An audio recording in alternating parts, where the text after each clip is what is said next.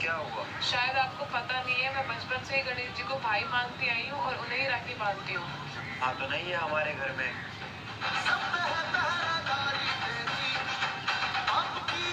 सुनिए। हाँ? हम गणेश जी को घर ला सकते हैं। क्यों? क्योंकि मम्मी पापा मेरी खुशी के लिए हर साल गणेश चतुर्थी पे गणेश जी को घर लाया करते थे। हाँ।